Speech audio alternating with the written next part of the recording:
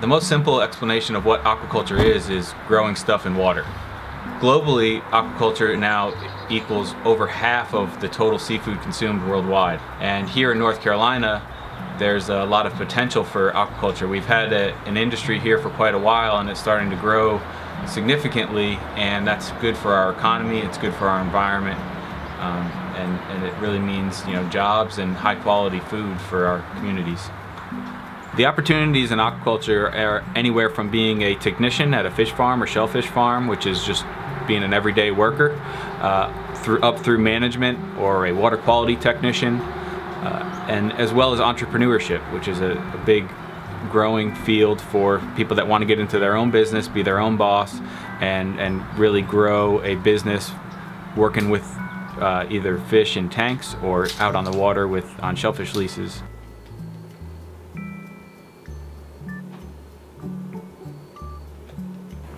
Part of my job, I work with uh, seafood growers or seafood farmers on a daily basis. Uh, they, are also referred to as aquaculturists or mariculturists. They're farming the water.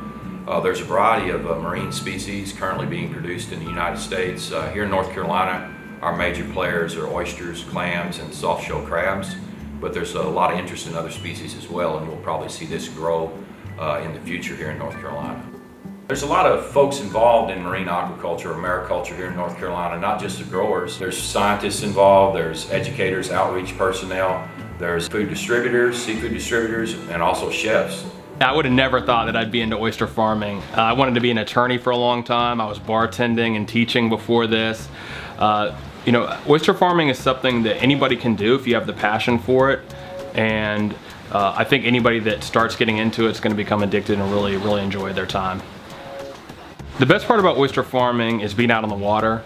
Um, you know, oysters are delicious, so you know you have access to that. Uh, I really enjoy owning my own business as well. The hours are great. You know, you can work as hard as you need to, especially if it's for yourself. It's you know really self-motivating. Uh, it's a lot better than working for somebody else. If you like being independent, then this is a good model um, for you. Our job here at the hatchery is to conduct research that will help uh, develop a sustainable aquaculture industry for shellfish in the state of North Carolina. So hatcheries, even if they're for oysters or any other thing, um, are facilities that are directed at being able to support the uh, production and growth of early life stages of organisms, so the babies of, of different organisms. So we're picking the best and brightest of each generation to be the parents of the next generation with the idea that they'll pass on those good traits to the, the, the next generation of oysters. Everybody always asks, asks us if we are uh, selecting for good taste, but that's something we really haven't figured out how to do. so the advice I would give a student that was interested in aquaculture would be to study hard in your math and science fields, provide you with the most opportunities to um, progress in this field. Um, I think also get involved with the industry. If you can apprentice, intern, or uh, volunteer at an aquaculture operation, um, that's helpful. Well, my family's been on Cedar Island for about 300 years now. And so I've been on or around or underneath the water basically ever since I was born. Just happened to run into shellfish mariculture. I figured if they could do it in Virginia, we could do it on Cedar Island. So if you already come from a commercial fishing background, you probably have a lot of the skill sets and waterman skills already. Shellfish mariculture could represent a truly year-round job, a steady source of income, uh, where you know your product is at one location all the time. You're not as weather dependent or nature dependent on your final product. So it's a more consistent, steady income possibility. Our concept is basically just to get seafood from North Carolina fishermen. We go to the coast, coast multiple times a week. And uh, one of the biggest things we've seen uh, has been the growth of the mariculture industry in the last few years. Mariculture North Carolina is going to be a, a major part of my business going forward.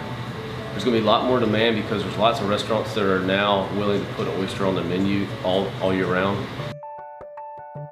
As you can see, there's a lot of opportunities in marine aquaculture here in North Carolina and you just don't have to be on the growing end. For example, you can be a scientist, you can work, work in outreach and ed education, Uh, you can be work on the food side of it, being a seafood distributor, for example, and also being even a chef.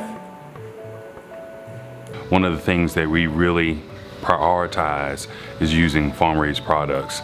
And uh, right now, aquaculture is a really big thing. And so we're really trying to support that so we can bring a premium product to our customers. North Carolina has been billed the Napa Valley of oysters. I don't know if that's a little adventurous right now, but I will say there are a large variety. Uh, salinity content, some are a little bit more saltier than others, some of them are a little bit more heartier than others, but it's just like a rainbow of colors of different oysters to enjoy. The uh, opportunities in marine aquaculture are growing and they're only going to continue to grow as the industry develops. You can have a really rewarding career in marine aquaculture supporting it or producing product. The bottom line is where, wherever you're involved in this industry, the bottom line is you're producing a sustainable source of seafood. If you're interested in, in exploring a career in marine aquaculture, contact North Carolina Sea Grant or visit our website.